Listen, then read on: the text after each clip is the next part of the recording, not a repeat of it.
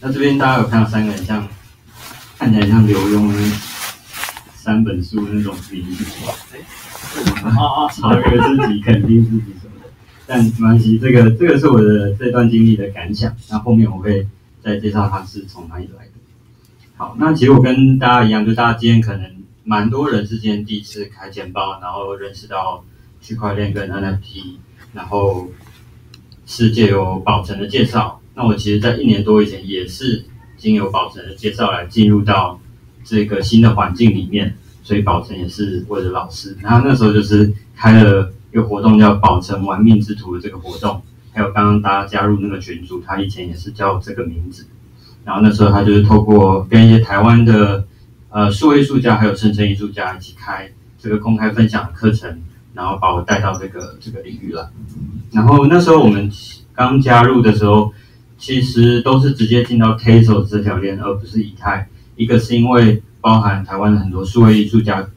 都是先从 Tezos 这条链开始的，而非在以太链。那那时候进来的第一个，嗯，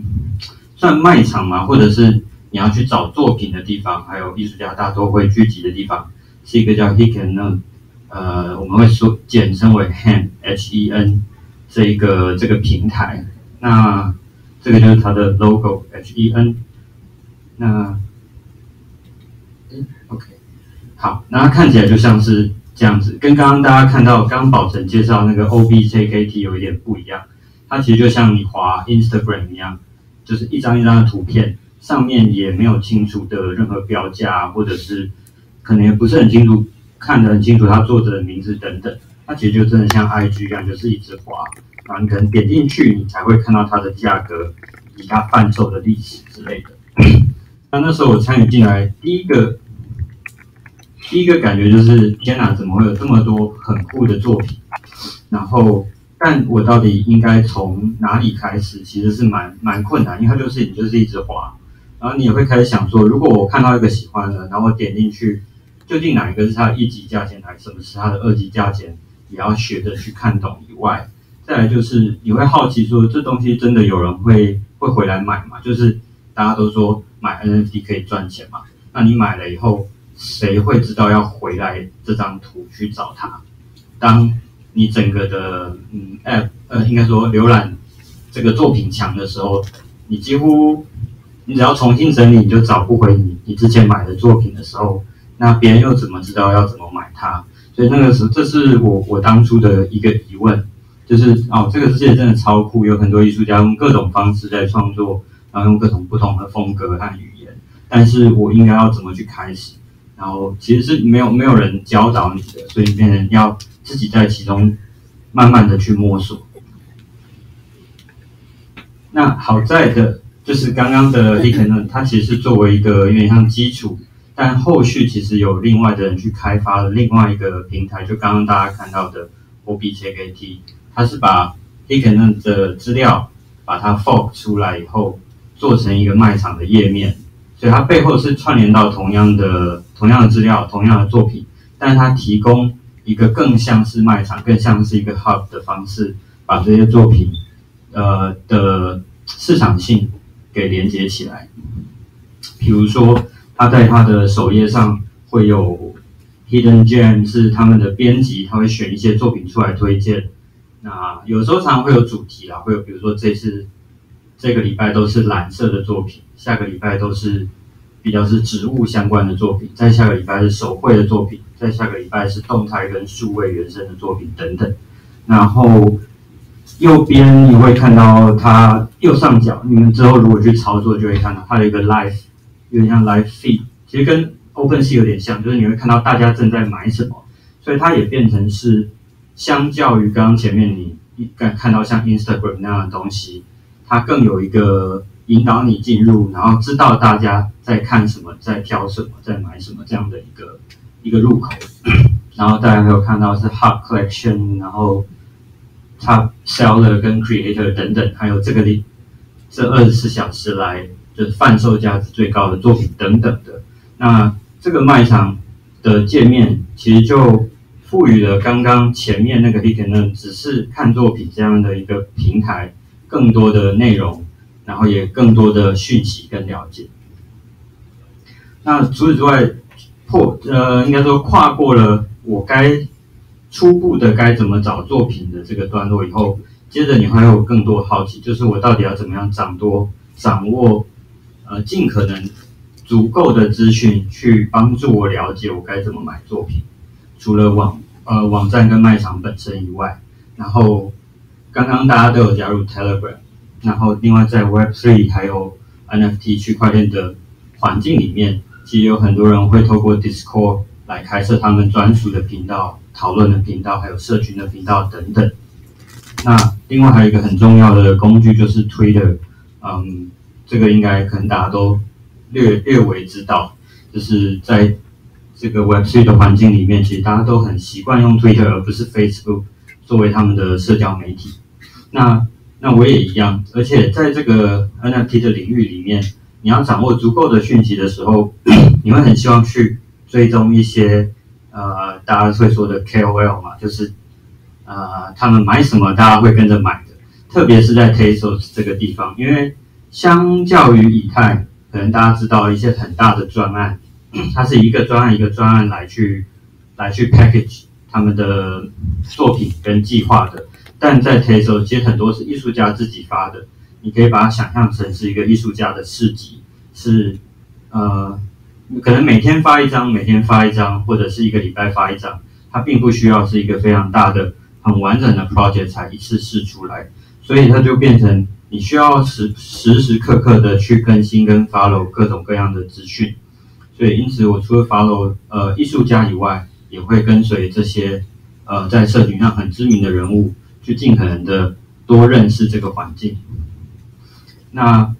除了跟随、跟购买、跟跟随以外，那我自己也慢慢的试着去，我也在想说，既然我都跟着这些人买，那我有没有可能一个方式让别人，我也想要分享我自己的喜好跟我自己的美学，或许也有人会跟我有一样的共鸣，或者是有一样的喜好，所以我也慢慢的开始在推特上自己在经营我所喜欢的艺术家是谁，譬如说在这里看到的是。台湾的呃艺术艺术家阿乱、王新仁的作品，还有刚刚宝成也有提到金瑶跟林奕文的作品等等。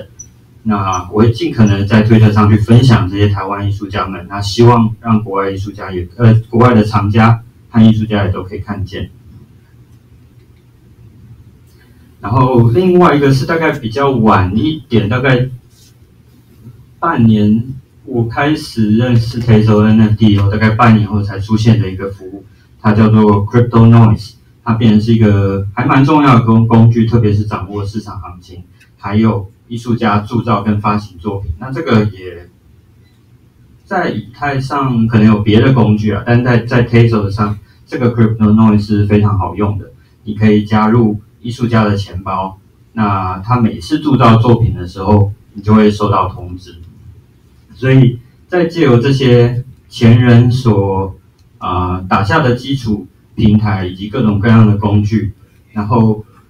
我突然觉得，从刚刚一开始进入 h i k a n 那个好像是很黑暗时代，就你都不知道你要买什么，不知道这环境长什么样子的时候，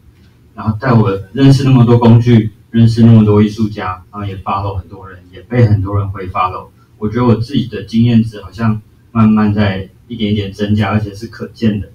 然后，突然觉得自己很很强，从那个黑暗时代就变到了城堡的时代，然后甚至我有一个自己的国家，我有自己的品味，我有自己的范畴这样的感觉，然后好像慢慢的人就觉得，你好像可以在这个呃，因为 NFT 算是一个讯息讯息游戏，那然后慢慢觉得哦，我可以在这个讯息游戏里面，讯息的零和游戏里面抢得一些先机。就是我知道，我比别人更早知道我要买什么，或者是我可以更早知道我喜欢的艺术家要发作品，或者是热门的艺术家要发作品等等。但 那也在同时，就会发现 有不止一批人，但是应该说有一些特定的群体他也在做一些事情，他好像跟刚刚所说的讯息的零和游戏不太一样，它是基于分享的性质。在做新的平台跟书写新的概念，还有语言，还有分享他们的故事。那其中一个我很喜欢的是一个叫 Right Click Save，它是有一个算是一个 collective 一个团体叫 Club NFT。那他们是一群藏家，然后也有技术背景的人，然后有文化背景人共同组成的一个组织。那在这个平台上，他们会不定期的书写关于艺术文化，然后呃加密艺术文化，然后还有呃这个环境以及这个圈子正在发生的事情的一些 article 跟整理。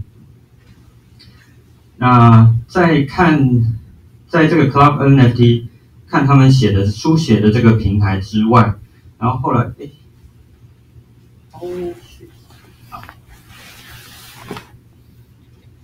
没关系，这张也是一样。那我也发现说，这个 Club N Club NFT 的组织，它有后来有开发出两个产品，一个产品是它可以呃备份你的 NFT，特别是在呃哎应该说包含以太跟 Tezos 的链上面，然后。你输入你的钱包，它就会把你的这你持有的 NFT 的有点像 metadata 下载下来，变成一个封包。但它并不是要你打开来，而是哪一天，特别是那些有上传到 IPFS 的 NFT，因为 NFT 的图像都是放在去中心呃分散式储存的架构里面的，但是并不是每一个图跟它的 metadata 都可以呃。都可以保证永久的串在一起的，所以它是提供一个拼，去拼住这些图像在分散式储存的图像跟链上资讯之间的这个关系，它帮你把这个关系保存下来，以免哪一天，比如说它原先作者或者是就可能没有付 IPFS 的储存费用之类的，你可以帮他把这个图重新储存回去，所以它是一个让你。保存跟持有自己资产的一个服务，那这是那个是第一个 Club NFT 他们所推出的服务，保存你的链上 NFT 资产。那另外一个我觉得呃很有趣、非常有趣的服务，这叫做 Pathfinder，它是在帮助你找到新的艺术家跟新的 NFT 的一个服务，而且它只在 Tezos 这条链上。那他开发这个产品的时候，他是先询问了一些社群主要的大厂家们，还有一些社群活络的朋友，在社群里面非常活络的呃呃主要的那叫什么伙伴，那去问他们说，哎，你平常是是怎么找 NFT 作品的？你知怎么知道你要买什么？就像刚刚我最初的那个提问一样，因为在 Tesla 这地方，艺术家就是想发就发，它不是一个特定的时间是试出的。然后，呃，这些藏家们就回复这个 Club NFT 说，他们除了一样透过推特啊，透过各种资讯管道以外，另一个他们最喜欢的方式就是去 follow 他们喜欢的藏家，去看他们的钱包，因为在链上的资讯里面，钱包都是公开可以查到的，所以你可以看到别人的钱包里面持有哪些 token。那在这些藏家的钱包里面，你可以去看。比如说你喜欢这个厂家的品味，那他其他以其他购买的艺术家就变成你也有可能会喜欢，去找到这种共鸣跟跟相关性。所以在 Club NFT 做了这个访谈以后，他们就决定开发出一个产品跟服务，是透过一个演算法去建立厂家跟厂家之间的有点像呃知识图谱一样的关系。那当你这边你输入你的钱包的时候，他就会去抓你钱包里的 NFT，然后帮你去呃延伸出去这些 NFT 你跟哪些厂家有交集，那这些厂家他买过的东西，你就也有可能喜欢，它就会呈现在右边这个这个栏位里面，然后你可以设定说哦，我不要买太贵，我就把价钱定一点，定呃定低一点，或者是你喜欢这特定在什么平台上的作品等等，你可以设范围。会帮你找出那个交集。那我当初看到这个还蛮兴奋，因为这个跟前面 OBJKT 的那个首页推荐是完全不一样的逻辑。那个首页推荐是人去选的，也就是它是有主观跟某种中心化的选择在里面。但在这个 Club NFT 的服务里面，它里面是尽可能用分散式的方式去推荐给你，然后是基于你所持有的 token 去生产出来的。那这我觉得是非常有趣。那这也解决了，就是比如说我刚刚一开始的问题，就当宝成带我进来的时候，其实宝成不不可能一直跟我说我该买什么，因为作品太多了。一开始进来会很无助，因为希望有人跟你讲该买什么，但是宝成是没有办法告诉我，因为作品真的太多，然后我也不可能问他买什么是会赚，那需要自己观察。那这些我是到后来，当我要跟朋友介绍进介绍他们进来 t e s o 之后，我才发现这件事情。那因为朋友会问我说：“哦 t e s o 那么多作品，到底要买什么？买什么才会赚？”然后。他不知道他喜欢什么，那这个 Pathfinder 这个工具出现，让我有一个很好的起点，去介绍我的朋友进来这个这个链上，然后去认识 NFT 艺术。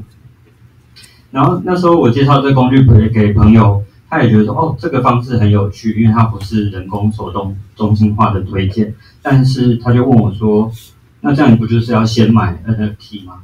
我说，对啊，就是要先买。但是我跟他的回答是说，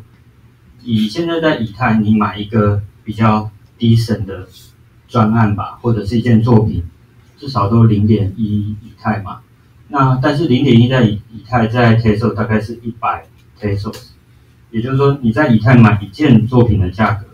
你在 t e s o 其实可以买一百个艺术家的一百件作品。那这些已经足够你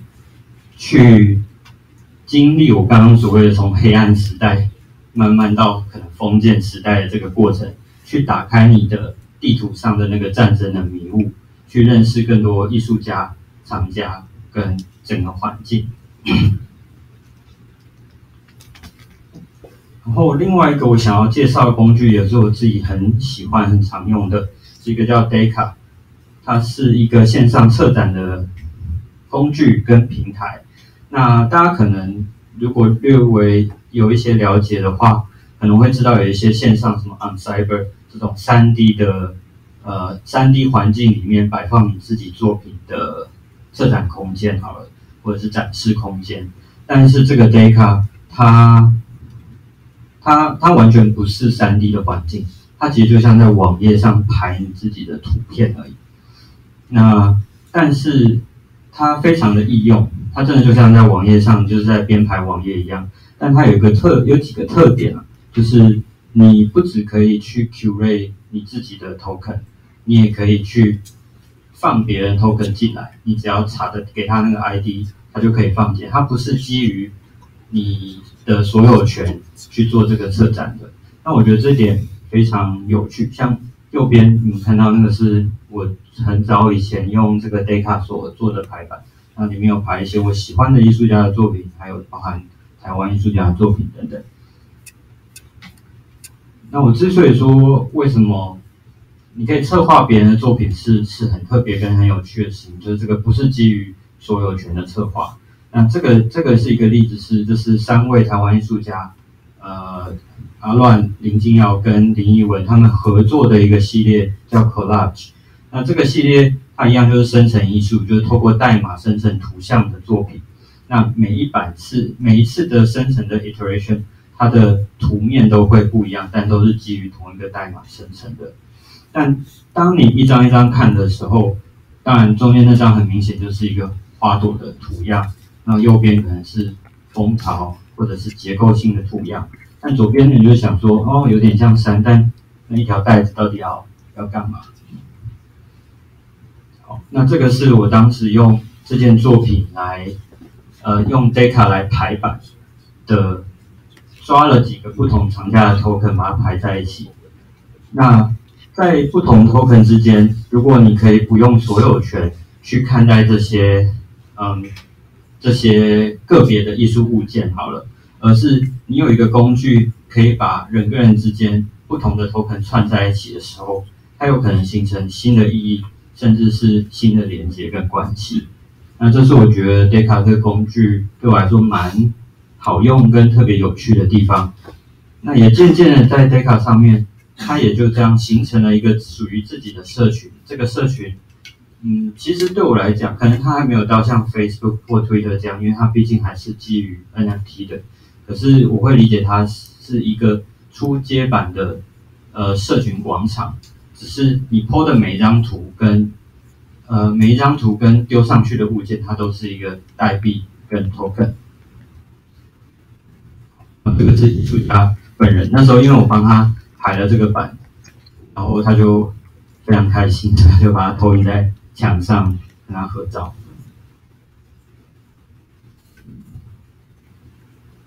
好，啊，OK，好。然后另外这个 Deca 的刚刚说的这个策展服务，它还有一个蛮有趣的，叫叫什么？平台平台自自己发行的 NFT 吗？就是你在上面使用它的服务的同时，你也可以去免费的铸造一个叫 Decagon 的一张图片，其实就是后面看到那个像呃几何方块组成的图片，它是它是免费的，有点像你去领一个呃加入这个加入这个服务加入这个空间的一个。一个身份证一样的感觉。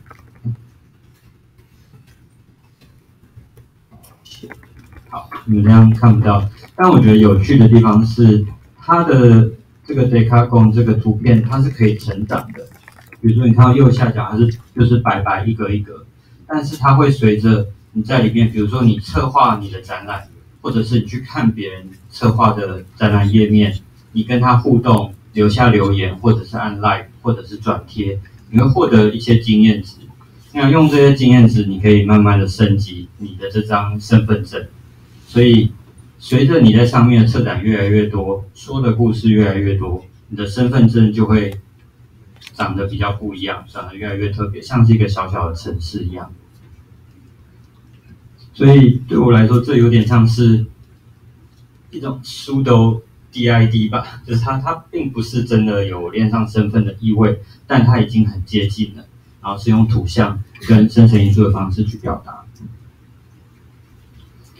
然后这个是 Deca 他在嗯某一个推特的贴文里面在介绍，他说，呃，就罗浮宫跟 MoMA 其实最初最初其实就真的是始于一个很小的 collection 或是策展而已。他那时候丢的那张照片是右边那个，应该是好像是罗浮宫最早一个，只是一个沙漏而已，就是几件作品。但现在它却是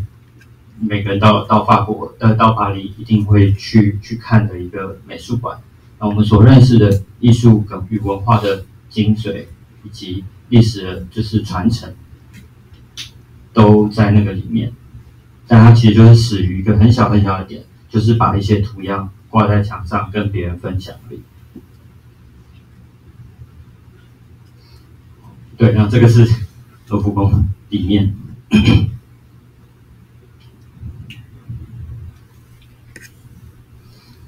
啊，这个是之前也有呃有次分享也有提到的，就是大家有看过这部电影吗？人类之子。然后呃我很喜欢这部片啊，它是在讲一个有点像近未来的。呃，反乌托邦跟末世的一个场景，就是在那个近呃，在那个未来里面，嗯，人类是绝育的，所以大家是基本上处在一个很很，你知道什么？呃，突然想到那个词，没有很悲观，对对对，然后没有没有未来，因为你没有小孩，你就没有未来，所以其实，在那个世界里面，大家是不 care 文化的。文化不重要，就是生活着就好了。但在里面的其中一幕是，呃，电影里的主角去拜访一个有钱人。那因为那时候大家没有人 care 艺术了，所以他就把米开朗基罗的雕像搬回自己家自己欣赏。那这个这个截图影片是 z z 一个一个哲学家跟思想家，他在 review 这部电影的时候说的一句话。他说：米开朗基罗放在家里有什么意义？他其实没有意义。一件艺术品，当然它的雕工细致啊，然后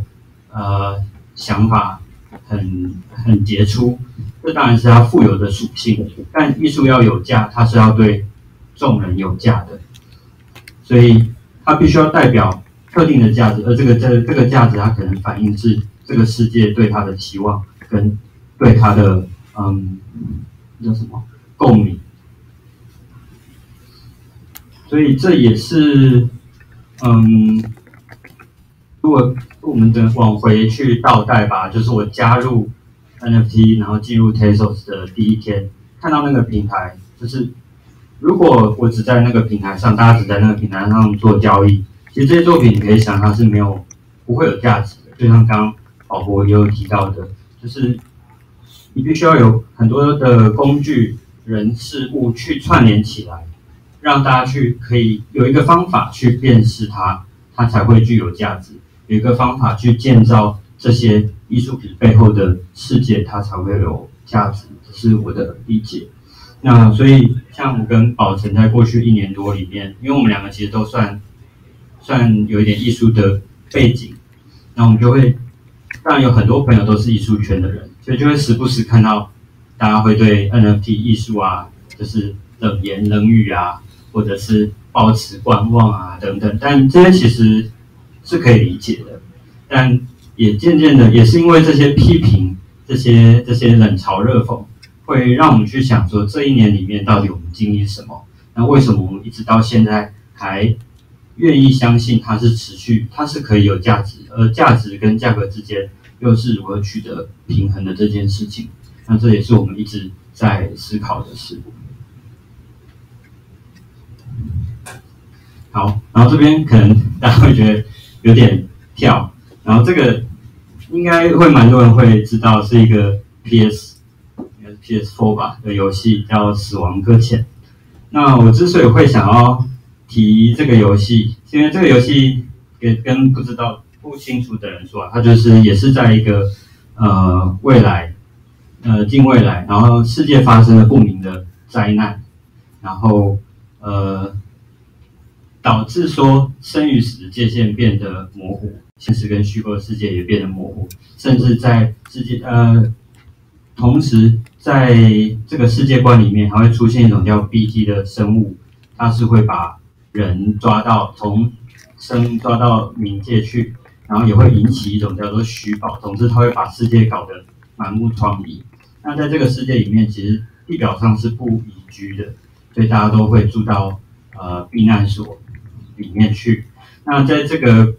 游戏的设定下，我们的主角就是被美国总统赋予重任，要在全世界各地去送货，所以这个游戏也被大家戏称为是送货的模拟器。特别是在，我记得这个应该也是差不多疫情的时候吧，所以疫情的时候就大家同时也在叫外卖，然后在家里是玩这个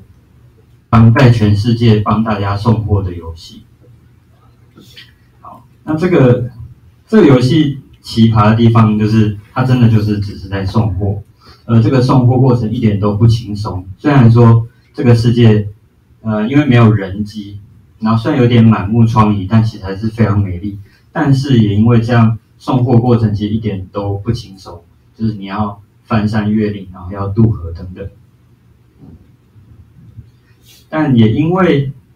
你必须要送很远很远的路。那在游戏的进程里面，你会开始获得一些资源，那这些资源会逐渐的会呃协助你去克服这些地形以及路途的遥远。比如说，本来有一个重谷，你必须要绕路的，但 在你的中期可能获得一些资源以后，你就可以架桥跨过去，或者你可以有车有什么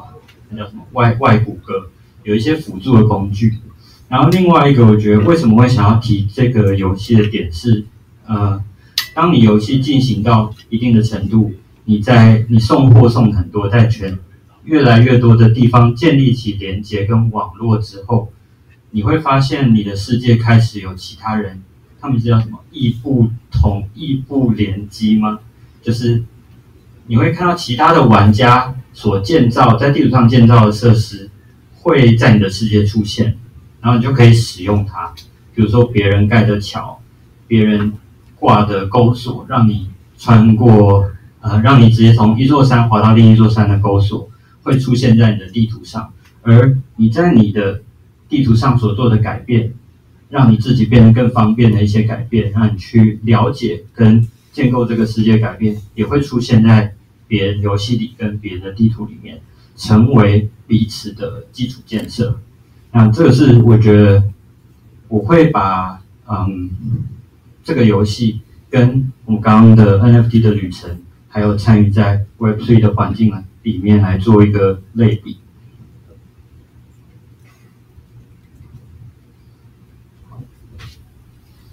嗯，会之之所以会想要把它做一个类比，是其实我们参与的这个 N 不管是 NFT、Crypto 还是 Web3 的环境，它并不是一个被动的世界，甚至包含艺术，它都不是一个被动的被动的意义，而是我们每一个人对我来说啦，就要积极跟主动的去参与的。那至少我在里面也会选择是这么做，比如说我喜欢的艺术家。我也希望能帮他们策展，或者是帮他们分享。毕竟，我也希望他们的作品价值能够提升。那价值提升的方式，就是让更多人都想要他们的作品。这些就对我来说是很简单的方式。也是在这一点点的分享跟连接过程中，我发现，呃，刚刚说的，我的视野开始改变。那其实我的世界跟旅程的旅行的过程。然后也慢慢一点一点的被雕塑，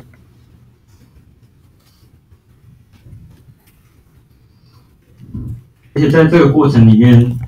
好像可能外外面的人吧，大家都会认为说啊，NFT 就是每天都只谈价格，而不去谈它的价值，然后都只谈钱，然后谈涨跌等等。不过，对，也没错，是在谈涨跌。但比如说这个事件吧，这个是。今哎是什么时候？Luna 什么时候我都忘了。总之，Luna 对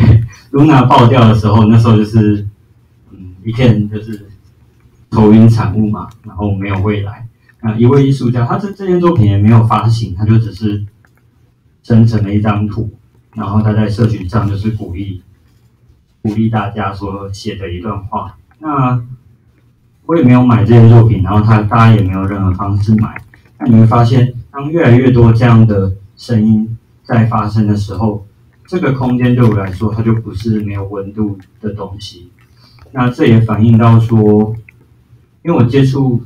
这个环境吧，是刚好就是在疫情的时候，就是哪也不能不能去。然后刚刚前面提到，我的团体跟我的组织跟我个人是做很多跨文化跟跨国的交流的，其实也都没有办法做，啊，甚至必须转成线上。但是在这些线上的交流、远距的活动里面，你总会感觉说，就是烧不到痒处的那种感觉，总是不如亲身见面。但没想到，我却在一个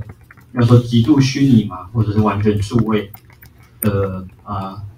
的环境里面，在 NFT 的社群里面，好像找到了一点温度跟温暖，在人跟人之间的感觉。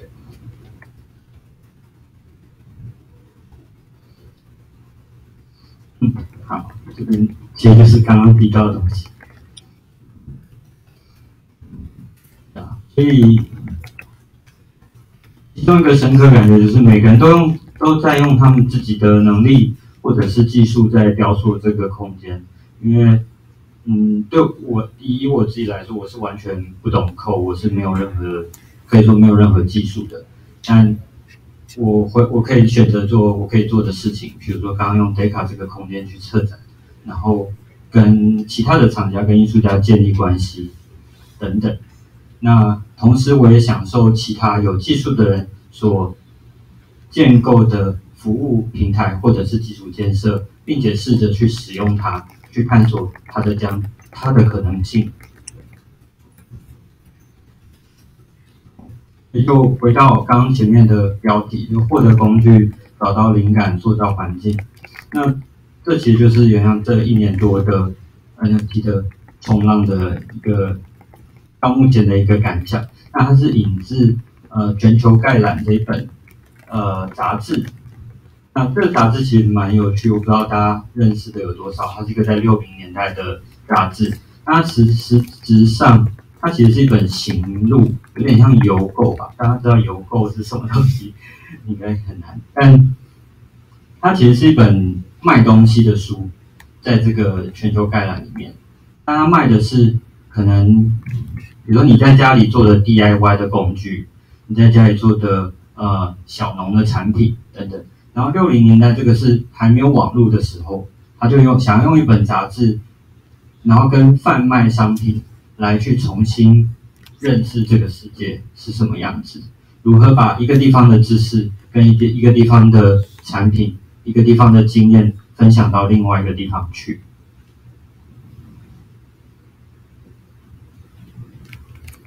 好，大概就是这样。那最后，我只是这几天，呃，临时看到的一句话，然后我觉得我也还没有一个很完整的，呃，梳理吧，要怎么去延续这句话。但是这个这句话是从今年底吧，会发生在台北智力美术馆的台北双年展，这是三位年轻策展。他们在公开他们的理念的时候，里面提到一句话，它是引述自呃英国的作家评论家，呃，两个什么 Fisher 吧，我忘了写他的名字。好，看在看写在哪？啊，他这句话是我们不再是理想的个体，而是网络中的一份子。我们是否能发展出那种亲密的关系，但却又够同时是公开的？那集体却又反社会的形式？那其实这个跟我参与在链上吧的感受是蛮蛮类似的。比如说我的钱包、我的资产，艺术是是是私有的，但艺术却也同时是公共的。就它不只是躺在我钱包里，每个人可以查阅，我也同时可以把它分享出出去，像刚刚宝成投作品给你们一样，又或者我是透过 data 的呃策展工具，用一个故事去诉说它。所以它既是公共，但也是亲密的关系。然后集体跟反社会其实也是在这个社群里面，可能到目前一直在持续以及辩论的。它当然是集体的，是人与人之间的联系。那这边的反社会，我也在想要怎么去诠释，因为本其实本身区块链跟 crypto 它是，嗯呃，它的缘起其实是蛮反社会，至少是。去反思我们当下的社会，以及我们想要去修正一些东西，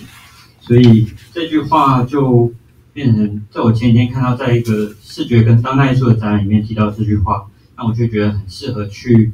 呃反映反映我这一年来的我这一年多来的旅程，以及或许接下来大家会参与进来的旅程。而既然我不是很确定说。